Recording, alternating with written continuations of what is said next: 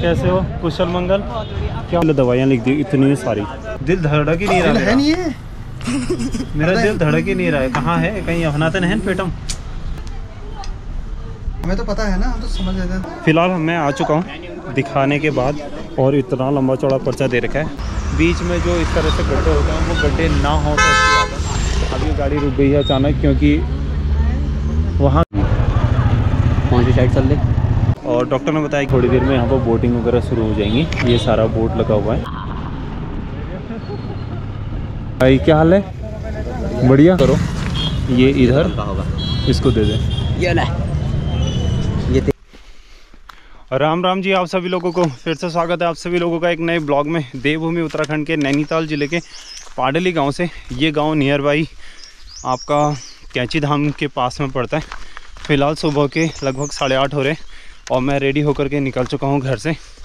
तो आज मुझे जाना वैसे कहीं और था बट मैं अभी जा रहा हूँ नैनीताल। मैं और कन्नू भाई कल हमने स्ट्रॉबेरी तोड़े थे ना, वो स्ट्रॉबेरी पहुँचाने नैनीताल। और वहाँ से प्रेम भाई आ रहे हैं तो आप लोगों को मिलाएँगे आगे जाके। फ़िलहाल आज का जो मौसम हो रहा है, वो कुछ ऐसा है।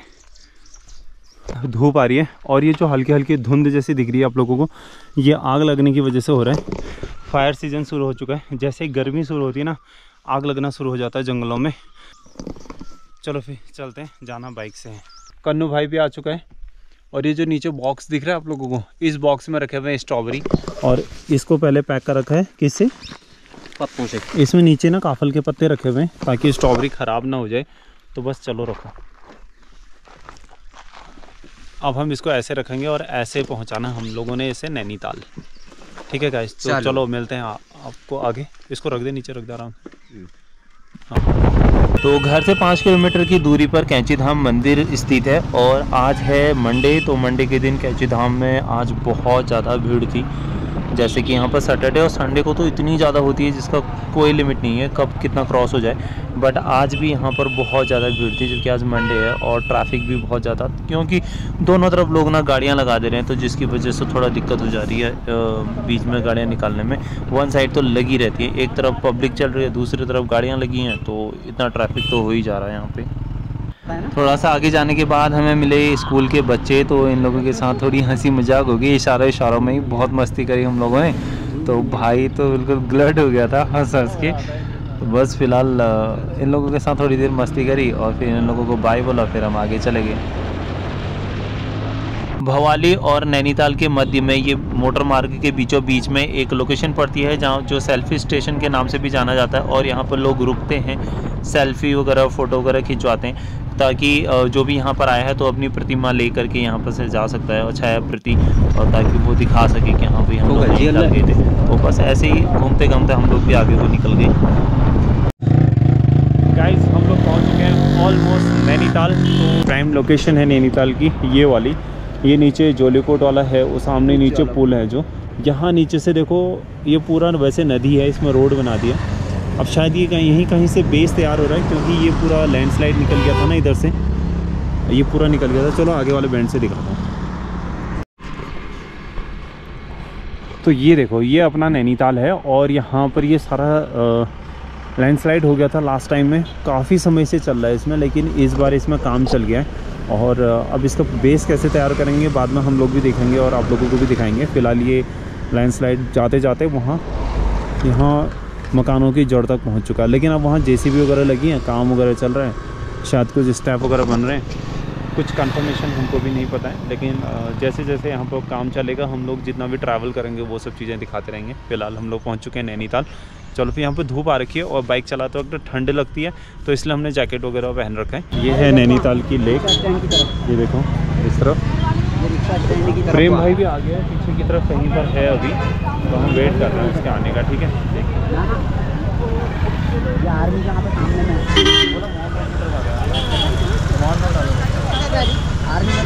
एक तो पीछे कंफ्यूजिंग हो गया था और वो भाई उस तरफ़ खड़ा था स्टैंड की तरफ़, यानी कि बस स्टेशन की तरफ़ को, और हम लोग इस तरफ़ आ गए थे। हम लोग सीधा आ गए थे, क्योंकि वहाँ पर ना बहुत ज़्यादा जाम लगा हुआ था इसलिए। अभी थोड़ी देर में यहाँ पर बोटिंग वगैरह शुरू हो जाएँगी। ये सारा बोट लगा हुआ है और ये सारा टूरिस्ट है।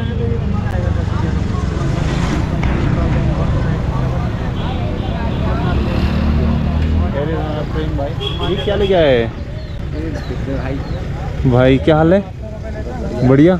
तो भाई रामनगर से लेके आया है भाई। ठंडा हो रहा था क्या वहाँ? तो गजब वाला? बहुत हो रही है? तो इसमें स्ट्रॉबेरी के लिए पैकेजिंग है और हम स्ट्रॉबेरी इसमें लेके आए हैं तो ये ट्रांस ट्रांसफ़र करो। ये इधर का होगा। इसको दे दें। ये ले ये तेरा है। अदला बदली हो गई तो फ़िलहाल ये बॉक्स दे दिया भाई को और अब हम लोग भी चलते हैं। हमें थोड़ा हॉस्पिटल में काम है। मेरे नाक में थोड़ा सा प्रॉब्लम क्रिएट हो रही है तो इसको दिखा के लाता हूँ। ये हॉस्पिटल में। पर्चा मैंने लास्ट टाइम में काटा था यानी चार पाँच दिन पहले आकर के और उसके बाद एक बहन से मिलना है तो उससे मिल के आएँगे फ़िलहाल मैं आ चुका हूँ दिखाने के बाद और इतना लंबा चौड़ा पर्चा दे रखा है। और डॉक्टर ने बताया कि सिर्फ़ एलर्जी है तो बस ऐसी कोई बड़ी बहुत बड़ी बात नहीं है। तो उसके लिए दवाइयाँ लिख दी इतनी सारी। लंबा चौड़ा पर्चा। चलो भैया आगे से एक दो और लेनी है वो लेते हैं पहले। क्या है यू यू पता नहीं। ऊपर को आ जाओ।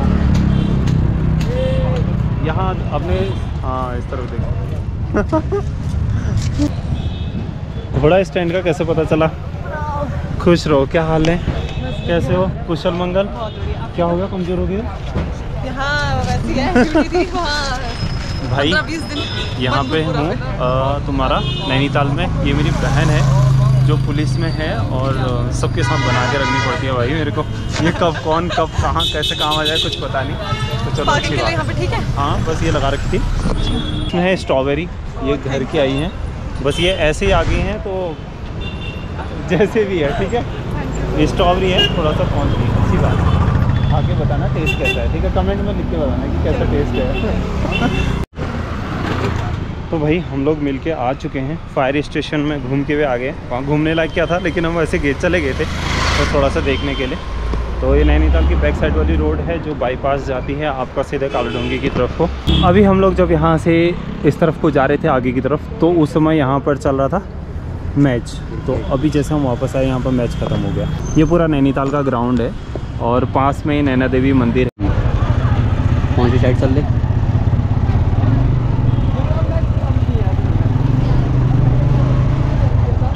हम्म, कैची धाम आई टू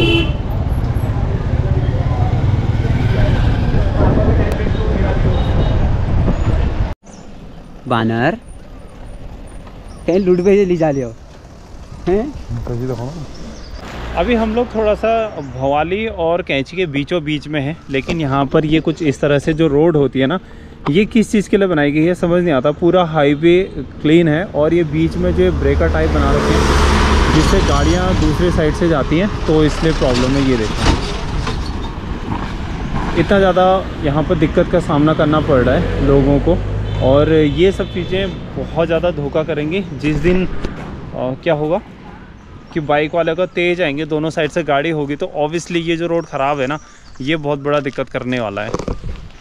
तो ये देखो गाइस ये बीच में अलग ही टिल्ला जैसा है। ये प्रशासन मतलब क्या कर रहा है समझ नहीं आता। मतलब ये चीज़ें ना बीच में नहीं छोड़नी चाहिए ऐसे।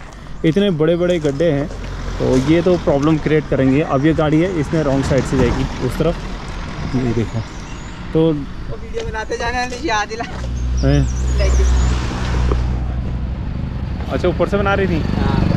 तो ऐसा है सीन गाइस देख रहे हो प्रशासन के हालात कैसे हैं हमारे उत्तराखंड में। जो मेन मेन हाईवे है जबकि ऐसे हाईवे हमेशा क्लीन होने चाहिए। बीच में जो इस तरह से गड्ढे होते हैं वो गड्ढे ना हो तो अच्छी बात है। अब गाड़ी रुक गई है अचानक क्योंकि वहाँ गड्ढा है इसलिए रुकना पड़ा।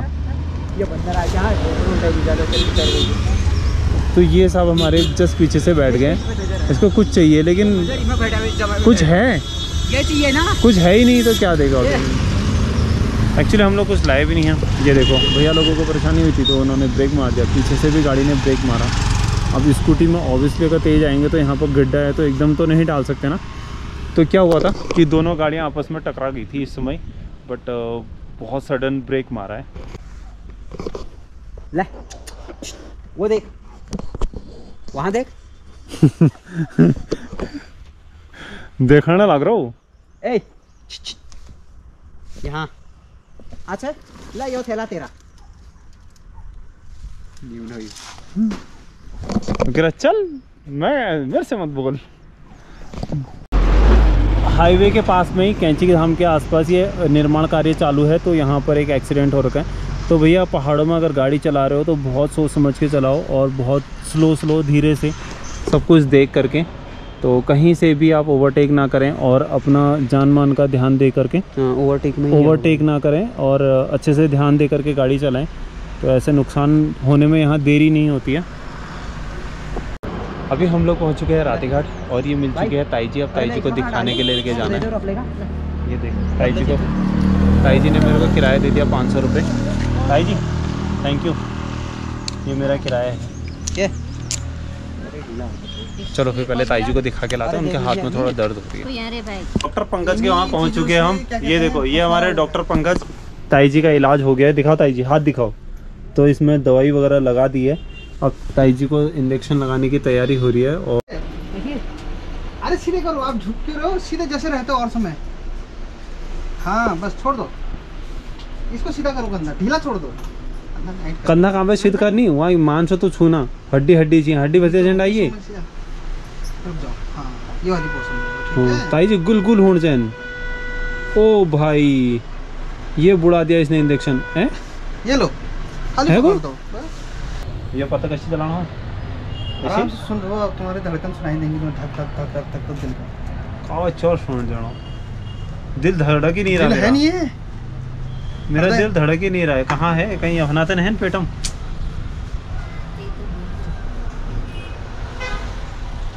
ना को आ रही है अरे कुछ नहीं आ रही है बहन का तू लोग अभी देख। हाँ तो रही धक धक धक धक धक धक करके तुम तेज रहने दे यार। ऐसी बात कर रहे हो। नहीं हैं? तुम बोलो मत साइलेंट होके सुनो। एकदम से। हमें तो पता है ना हम तो समझ लेते हैं तुम थोड़ा सा साइलेंट होकर दुख दुख तुम्हारे। दुख दुख दुख दुख दुख दुख तुम्हारी बॉडी चल अरे दिल ही लड़ गया यार मेरा है ही नहीं। किसको दिया था उसने तोड़ ताड़ के कर रखा है? गाइस धड़कन ही नहीं आ रही है मेरी दिल की बिल्कुल भी नहीं। जिसको दिया था ना उसने टुकड़े टुकड़े कर दिए हैं। तो कहाँ से आएगी इसमें धड़कन अब? दिल एक ही था मेरे पास एक ही था ये टूट गया इसमें। अब धड़कन ही नहीं आ रही मैंने पूरे पेट में घुमा के देख लिया। दिल कहीं भी नहीं है ये। ये देखो गाइस कहीं नहीं है। ये हट, कहीं नहीं आ रही है। गाइस मैं पहुँच चुका हूँ घर और ताई जी को मैंने रास्ते में छोड़ दिया था, कन्नू भाई को भी, दोनों जने आगे थे हम लोग, और ये लेके आया मैं अदरक। अदरक यहाँ पर समूह वाले क्या कर रहे हैं ना? जो समूह में महिलाएँ हैं, उनको तो साठ रुपये दे रहे हैं, और मुझे सत्तर रुपये लगा दिया उन्होंने वेटिंग फॉर मी तो क्या कर रही थी? लेबू, क्या कर रही थी? ये वैसे बेसिकली हमेशा लेने के लिए आता है। बट अभी इसने देख लिया था तो यहाँ पर आराम से बैठा था। उठ गया आराम से। गाइस घर आने के बाद मैं पहुँच चुका हूँ वापस अपने खेतों में। अच्छा अगर आप लोग अब जैसे पहाड़ों में ट्रैवल करने के लिए आने वाले हैं, घूमने के लिए आने वाले हैं बेसिकली तो एक चीज़ का बड़ा ध्यान रखना, जैसे फायर सीज़न शुरू हो चुका है पहाड़ों में तो जगह जगह पर आग लगी हुई है और पहाड़ों में, चट्टानों में सूखी घास है, बारिश काफ़ी टाइम से नहीं हुई है। तो इससे क्या होता है, जैसे आग लगी रहती है ना तो जो स्पेस खाली होते रहता है जंगल में कहीं पर पत्ते होते हैं, पत्ते जलेंगे तो स्पेस खाली होगा तो जो पत्थर पत्ते की वजह से अटका होगा तो पत्थर नीचे आएगा। तो अगर आप नीचे रोड से चल रहे हैं तो ऊपर से सडनली कभी भी पत्थर आ सकता है। तो इस बात का खासा ध्यान रखना और जंगलों में दूर तक देख लेना कि कहाँ आग लगी है तो दूर से ही सचेत हो जाना कि हाँ कब निकलना है, कितनी स्पीड में निकलना है। और आसपास भी देखना, ऐसा नहीं कि खुद को बचाने के चक्कर में खुद सेफ़ निकलने के चक्कर में दूसरे को ठोक दो, ऐसा काम मत करना, क्योंकि स्पेस नहीं है आजकल रोडों में। दोनों तरफ़ पत्थर गिर रहे हैं तो बीच वाली लाइन पकड़ रहे हैं तो दूर जा कर के रुक लो, कोई दिक्कत नहीं है, और गाड़ी पास होने तो फिर निकलो। सेफ़ रहो सेफली आओ, जाओ, बढ़िया से। तभी घर वाले इंतज़ार कर रहे होते हैं, यार सेफली जाना ज़्यादा अच्छा है। और बस आज के ब्लॉग में बस इतना ही। मिलता है आपको अगली वीडियो में। उम्मीद तो करता हूँ आप लोगों को वीडियो पसंद आई होगी। लाइक शेयर सब्सक्राइब बिल्कुल भी नहीं रोकने चाहिए। साथ में देखो, आड़ू के पेड़ों में आड़ू आने हो गए हैं। इतना बड़ा हो गया। ये आषाढ़िया है, ये थोड़ा लेट होगा, जून में होगा। ये मई में होने वाला जो आड़ू है, वो ये है। उसका साइज़ कुछ ऐसा हो रहा है अभी।